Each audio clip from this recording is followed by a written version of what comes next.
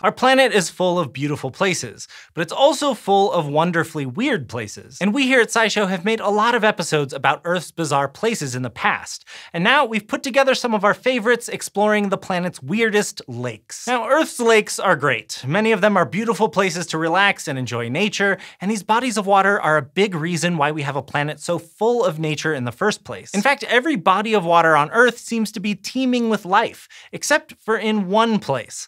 Here's how that happened. Wherever there's water on Earth, there's a pretty good chance that you'll find life. Like, even in the driest parts of the Atacama Desert in South America, single-celled organisms live in rocks that extract water from the air. And in Japanese hot springs, there are microbes that survive in acidity on par with battery acid. So in almost any water that would be deadly to you or me, there's probably something that calls it home. But there are a few places full of water that appear to be completely inhospitable to life. Some super acidic, super salty, and super hot pools in Ethiopia's Dallol geothermal field. And so far, these pools are the only wet places anyone has found on Earth that don't host life. The Dallol geothermal field is at the top of a volcanic crater filled with salt, and it's a pretty dreadful place to try and live. It's got toxic gases coming out of cracks in the ground at temperatures above the boiling point of pure water and ridiculously acidic brines. So these pools aren't exactly jacuzzis, but some scientists who study extremophiles, or organisms that live in extreme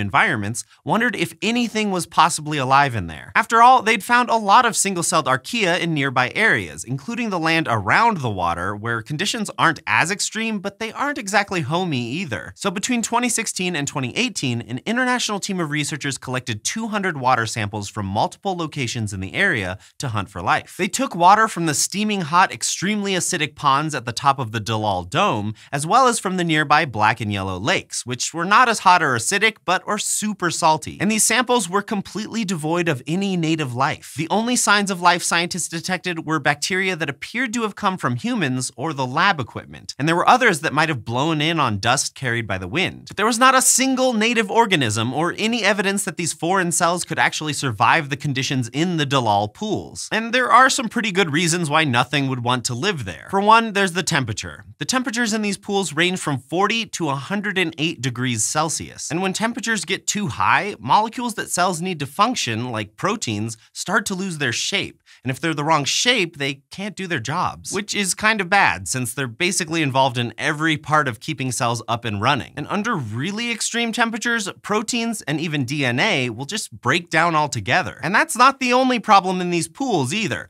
On top of the heat, they're extremely acidic. When acids are dissolved in water, they produce hydrogen ions, which are just plain old protons. And those ions are eager to chemically react with proteins, which again messes with the cell's ability to function. So high temperature and acidity are a pretty deadly combination. But to top it all off, these pools are also extremely salty. Now, living organisms need some salt in their lives, but too much quickly turns deadly. If the concentration of salt in water outside a cell is higher than what's on the inside, side water will rush out of the cell to try to balance everything out, and the cell will shrivel up like a raisin. So that's bad to begin with, but certain salty solutions are extra deadly. Some salt ions, like magnesium, are what's called chaotropic because they cause chaos. They break hydrogen bonds between water molecules, which can then lead to the breakdown of the complex molecules that organisms need to live and function. And in case that's not bad enough, these ions also interact with water molecules in a way that prevents cells from being able to use that water in important chemical reactions. So these ponds are not welcoming to living things, but it's still kind of surprising that there's nothing living there, because as deadly as these conditions are, around the planet there are certain extremophiles that can deal with some of these ridiculous challenges. For example, thermophiles have extra hardy proteins with extra bonds built in that help them hold their shape. Some of them also have special proteins to repair molecules that have been damaged by heat. And then there are the so-called acidophiles, which are either really good at pumping protons out of their cells cells or have special compounds to keep protons out entirely. And there are halophiles, which have evolved to tolerate extreme salinity. For example, some of them build up a bunch of potassium ions or other compounds on the inside to balance out extreme salinity on the outside. So there are single-celled organisms that can handle extreme environments, and there's even life that can handle more than one of these deadly conditions at a time. But the Dallol pools seem to be especially deadly, and no one knows exactly why, but there are a few ideas. It may be that it's conditions concentrations are on the extreme end of extreme. Like the salinity in the black and yellow lakes is over 50%, meaning that the lake is half salt.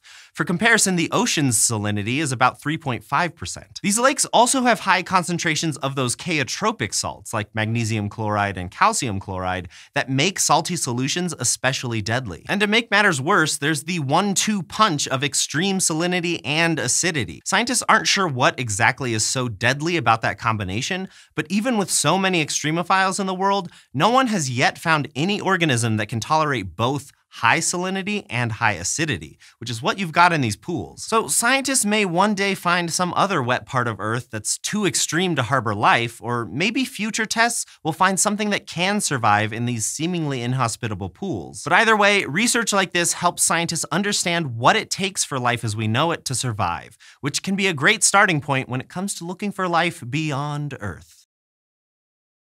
So you're not exactly going to put on your sunglasses and dip your toes in that lake. But as hostile as it seems, it's a pretty extreme case, like a perfect storm of deadliness. Because on the other hand, some places that sound purely toxic are actually great for life.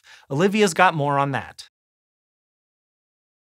You can find a lot of weird things when you dive deep into the ocean bioluminescent fish, microbes in 86 million year old clay, or a priceless blue diamond necklace casually chucked from a research boat. But one thing you might not expect to find at the bottom of the ocean is a lake. In the Gulf of Mexico, there's a lake so deadly that anything that goes for a swim gets pickled. Yet there's a thriving ecosystem literally living on the edge, which might give astrobiologists a hint on how life could thrive on other worlds. Its name? The Jacuzzi of Despair. A kilometer below the ocean's surface, not too far off the coast of Louisiana, this underwater lake was discovered back in 2013 using the remotely operated vehicle called Hercules. The jacuzzi, or sometimes hot tub moniker, is because it's warmer than the nearby 4 degrees Celsius ocean water. During return visits in 2015, researchers recorded temperatures from 7.8 up to 19 degrees. This underwater lake, and others like it around the world, are scientifically known as brine pools. Brine pools form over millions of years. To make our jacuzzi, a proto-Gulf of Mexico got closed off from the rest of the ocean during the Jurassic period some 165 million years ago. Over time, the water evaporated, leaving salts and other minerals behind. Then, that salt bed got buried under layers of sediment and eventually was submerged underwater again. Under all the weight of the sediment and ocean water, the salt bed deformed and shifted around. Scientists call this movement salt tectonics. Cracks in the sediment allowed water to creep downward, dissolving the salt to form a super concentrated brine. In the jacuzzi of despair, it's roughly four times saltier than the surrounding ocean. The brine was squeezed upwards by the salt tectonics, and some gases that were also trapped beneath the sediment layers. And since the salty brine is much denser than regular seawater, it pooled up on the ocean floor. Because the jacuzzi of despair contains some hydrocarbon gas leakage, it's also considered to be a cold seep, a name that just comes from the fact that it's cold relative to hydrothermal vents, which can reach temperatures over 400 degrees Celsius. Specifically, the jacuzzi is saturated with methane, and there's also non-hydrocarbon gases like the very toxic hydrogen sulfide. But one gas you won't really find in that super salty water is oxygen. What little there was in the brine pool to begin with got used up in chemical reactions, like organic stuff decomposing. And oxygen doesn't get replenished because the huge difference in density at the pool's surface keeps gases from the nearby seawater from entering the brine. The anoxia and other toxic gases makes the jacuzzi of despair deadly to most life except extremophile bacteria and archaea. Like, there's some chemosynthetic bacteria that use chemical reactions with the sulfur in the pool to make the energy they need to live, instead of sunlight. But the unlucky crabs or fish that venture into the jacuzzi of despair don't just die. Because of the brine's high salt content, they're effectively pickled. The water sucked from their cells in a doomed effort to balance the concentration of salt inside and outside their bodies. And yet there are complex organisms making a life down there. The Jacuzzi of Despair is surrounded by three meter high walls built from precipitated minerals from the brine like barite. All along these walls live massive colonies of mussels with chemosynthetic bacteria in their gills that can use the methane from the pool as a source of energy and of carbon. You'll also find shrimp, crabs, and amphipods crawling around down there. It's not the most diverse ecosystem on the planet, but these creatures are on the edge of instant death, so maybe give them a break. Besides telling us about our own planet, studying extreme underwater places like brine pools can also help us figure out how life might thrive on other water worlds, objects with liquid water in our solar system and beyond. Saturn's moon, Enceladus, for instance, is probably the best candidate for extraterrestrial life that we've found so far. In April 2017, the Cassini mission detected hydrogen gas in the moon's southern water plumes coming from what researchers think is a big subsurface lake. This hydrogen gas, along with carbon dioxide, could be used as a food source by chemosynthetic life that makes methane as a byproduct. And any methane could be used by other kinds of microbes, like the bacteria living inside the mussels near the Jacuzzi of Despair. Because the Cassini mission is about to end, we may have to wait decades to get more definitive answers. Until then, we can study more brine pools to get a peek at some of the strangest life on Earth, and maybe predict what else could survive in extreme environments throughout the universe. It goes to show that life is incredibly determined, and living things will make a home out of just about any environment they're given. Just ask the organisms hanging out in a giant pool of asphalt. Here's Hank with the details. On the Caribbean island of Trinidad, there is a huge oily lake made from millions of tons of asphalt, and it contains the remains of lots of unlucky creatures. But it's not just some giant pond of pavement or death. In fact, this pool of oil and dirt has taught us a lot about life, from what it might look like elsewhere in the universe to how we can save what we have here on Earth. Pitch Lake is the largest naturally occurring asphalt lake on the planet. And I know what you're thinking right now. You're thinking, there's more than one?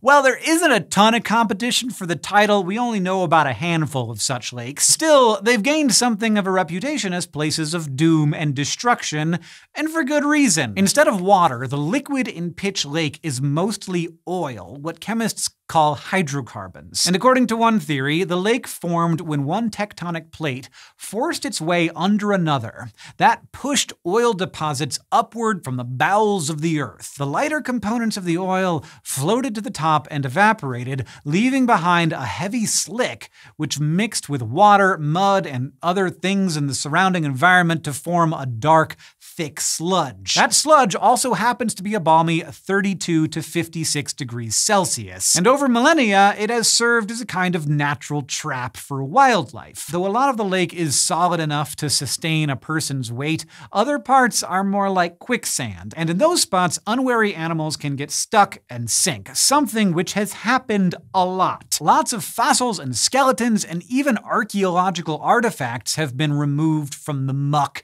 in pristine condition since the sticky goo prevents them from decomposing or being degraded by the elements or scavengers. In fact, fact, such finds are what Pitch Lake's smaller cousin, the La Brea Tar Pits in California, is famous for. But don't let that fool you into thinking asphalt lakes are giant pools of death. Even though there's very little water or oxygen in its quote waters, Pitch Lake is actually teeming with life. For example, one 2011 study published in the journal Astrobiology found up to 10 million organisms can live in a single gram of sludge from Pitch Lake. Though that's about half of what you'd get from, say, a gram of water from one of the Great Lakes in Michigan, it's still a lot of microbes. And we're not talking about just one type of organism either. Genetic sequencing revealed an incredible diversity of bacteria and other microbes living within the asphalt, and around 30% of the species were previously unknown to science. But that was not what excited the team most. See, the reason this study was published in the journal Astrobiology instead of a regular microbial journal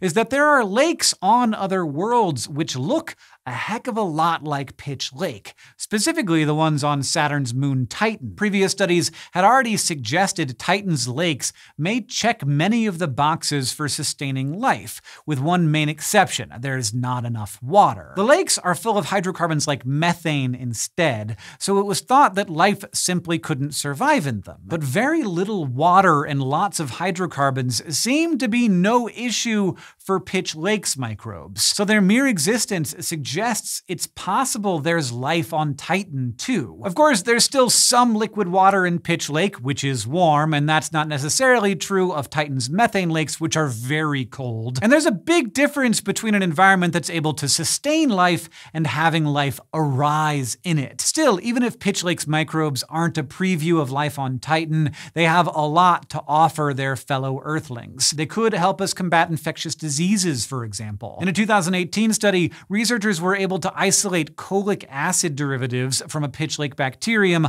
molecules generally used to prevent other bacteria from growing. So Pitch Lake's microbes could help us develop new antibiotics, which would be very helpful given that lots of nasty things are becoming resistant to the ones we have. And in addition to saving lives, studying the flora of Pitch Lake could help save the environment. A 2014 study published in Science analyzed minuscule water droplets from the oils of Pitch Lake and concluded that they contain microbes which actively eat the hydrocarbons in their surrounding environment. Other studies examining the soils next to the lake have also found bacteria that dine on these oils, which is very good because hydrocarbons are notoriously difficult to break down. Taken together, these results could have implications for cleaning up oil spills, whether they're on land or in water. Scientists could, for example, introduce oil-eating bacteria to an area to remove a spill more efficiently. And they may not even need the bacteria themselves. It might be possible to isolate the enzymes the microbes use to digest hydrocarbons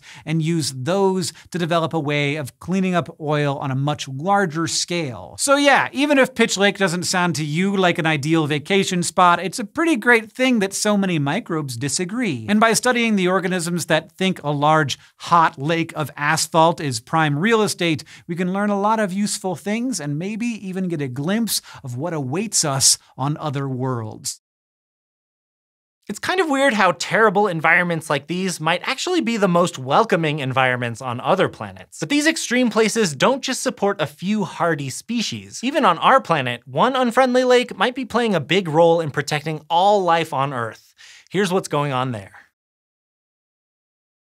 Imagine living in a place where you're surrounded by the sharp smell of ozone and hot, dry air. And around 300 nights per year, the sky is lit up by nearly 10 hours of continuous lightning strikes that can be seen from hundreds of kilometers away. In fact, during peak thunderstorm season, an average of 28 lightning strikes per minute hit the surface of Venezuela's Lake Maracaibo. This lake and its weird lightning have been a scientific mystery for decades, but nowadays researchers think that a perfect storm of environmental factors is causing this everlasting light show. The phenomenon is known as Catatumbo lightning, named after the river that flows into the southern part of Lake Maracaibo. It's been recorded as early as 1598, when the poet Lope de Vega recounted how it helped thwart a surprise attack by the English privateer Sir Francis Drake. And on a molecular level, Catatumbo lightning is pretty normal. Lightning is a buildup and release of electric charge between one cloud and another, or between clouds and the surface of the Earth. When rain and icy dust particles collide during a thunderstorm, the clouds become polar polarized, with clusters of positively and negatively charged particles. Basically, we think that upward currents of air push some molecules skyward, while heavier particles drop down and collide with them, snagging electrons along the way. Since electrons are negatively charged, the bottom of the cloud gets more negatively charged, and the top gets more positively charged. And because like repels like, the negative bottoms of these clouds repel electrons on the ground, trees, or buildings below,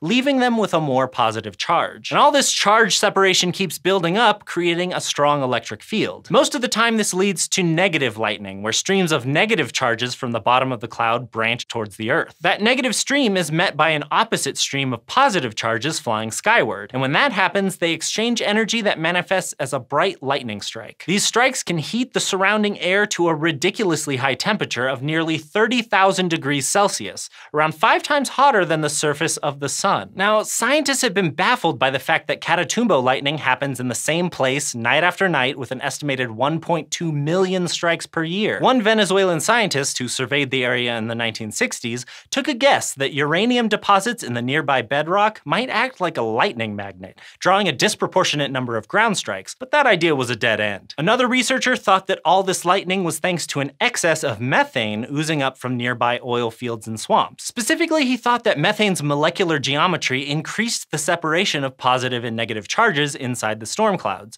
which is an important step in making lightning. But neither of these hypotheses have been thoroughly supported by other scientists, so they fall short to a simpler explanation. Nowadays, researchers mostly attribute Catatumbo lightning to the area's unique topography, the shape of the Earth's surface in a given area. Many of the world's lightning hotspots are linked to geographical features like curved coastlines and nearby mountain ranges, plus winds that help cook up thunderstorms. Lake Maracaibo is surrounded by the Andes Mountains and other branching ranges to the southwest and east, and they trap warm winds flowing over the lake from the Caribbean Sea. When that warm, damp air collides with the colder mountain air, it rises quickly into the atmosphere, helping thunderclouds form in this stormy sweet spot. So Lake Maracaibo probably just has all the ingredients for a thunderstorm almost every day of the year, and that's the reason for all this lightning. Besides being a natural marvel, some scientists also argue that the Catatumbo lightning might play a critical role in generating ozone in the atmosphere. Ozone is a molecule made from three oxygen atoms, and helps contribute to a protective shield around the Earth in the upper atmosphere. And the ozone layer absorbs potentially harmful high-energy ultraviolet rays from the sun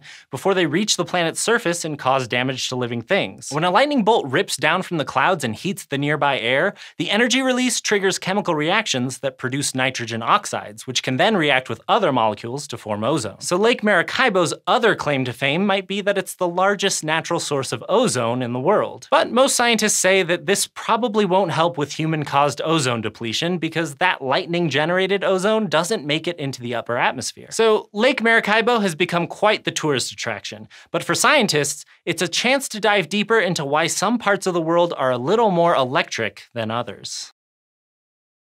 So, plenty of weird lakes play important roles in supporting life. But there is one type of lake that was just never meant to be lived in. Hank's got the scoop. Earth is covered in lakes. Mostly these are cool, watery affairs full of life, a great place for a relaxing vacation. Lava lakes are a little less serene. They're scorching, seething pools of molten rock. They're also pretty rare outside of Minecraft. Permanent lava only exists in a few places around the globe. One of the strangest lava lakes is atop Mount Erebus on the frozen continent of Antarctica. Probably the weirdest thing about this lake is that it's constantly releasing gas, and the composition of that gas changes on a roughly 10-minute cycle. Erebus was a Greek god, the son of chaos, which is kind of fitting for a place made of ice and fire. Mount Erebus is the tallest peak on Ross Island, which lies close to the Antarctic mainland and is usually connected by ice sheets. It's an active volcano that's been bubbling away for decades, occasionally throwing off larger eruptions. The lava lake is around 20 meters deep, and it sits in a crater which is itself inside of Mount Erebus's main crater. Under that lake is a conduit, a tube that leads down to a chamber full of magma, underground lava in other words. So the lake is basically like a bowl with a hole in the bottom sitting on top of a pipe. Like a sink, I guess you could say, except it goes the other way. It doesn't go down, it goes up. And all of it's about 1,000 degrees Celsius. Even in the frigid Antarctic air, the lake's surface won't cool into solid rock thanks to the convection currents that feed the lake with a steady supply of hot stuff. Hot magma rises to the top of the lake, then spreads outward, cooling off along the way. As it cools, it gets denser, so it sinks back down again, and the convection cycle continues. Lava lakes need that crater conduit and magma chamber combo to exist, and not many volcanoes have all of those components so well aligned. That's why molten lava lakes are super rare. There are only about five on Earth that have remained persistently active in recent years. So the Mount Erebus lava lake is an unusual and remote place, but thanks to some intrepid scientists, it's an area of active research. Scientists have braved freezing slopes and burning lava bombs, that's the technical term for flying blobs of lava, and they've installed remote sensors to keep tabs on the lake 24-7. One mystery they're working on is the lake's persistent gas emissions. For years, Erebus has been steadily releasing a gas plume, and there's a weird cycle to it. Over the course of 10 minutes or so, there's a repetitive shift in both the amount of gas produced and its composition, the overall mix. For example, the carbon dioxide to carbon monoxide ratio changes, as do emission levels of water vapor and sulfur dioxide. Researchers have been trying to figure out why there's this repeating cycle, and based on sensor data and computer modeling, they think it has to do with two main sources of gas. One comes from the conduit, and the other comes from diffusion in the lake. The carbon dioxide-rich gas is always rising up from the conduit, and it's basically constant. The amount and composition doesn't really change. But the conduit also occasionally, like every 10 minutes or so, burps out a large blob of magma from deeper in the chamber, like a kind of literal one-way lava lamp. Once a blob gets near the surface of the lake, it releases a fresh set of gases, which adds to the total amount of gas detected and changes the overall composition because it's rich in water vapor and sulfur dioxide. In addition to these shorter cycles, the lava lake also has what researchers call explosive degassing. These less frequent but more impressive belches cause small eruptions, hurling lava bombs into the main crater. The two systems seem to work independently. The composition of gas from the explosive degassing is different from the gas from the shorter cycle and appears to come from much deeper in the volcano's magma chamber. There is still a lot left to learn about Erebus and lava lakes in general. For example, there are gas cycles with other cycle lengths that aren't as well studied. Working out if they're connected and will build up a better model of the inner workings of Mount Erebus. Mount Erebus also contains a rare type of magma called phonolite. It's much thicker than the more common basalt variety, which probably affects the fluid dynamics inside the magma chamber and lake. So hopefully the recent studies on Erebus will be useful for scientists working on other lava lakes around the world. These lakes may be rare, but having good models from the few examples around the world will help geologists understand the similarities and differences between them and the overall rules about how they work. Leave it to Antarctica to have one of the hottest, weirdest lakes on Earth. And that's just a taste of what's out there. There are still plenty of other weird lakes and other weird places to explore. Thank you for watching this episode of SciShow. And if you liked learning about these weird lakes, we're also selling a pack of postcards based on each one of them. You can get yours over at dftba.com slash scishow or at the link in the description.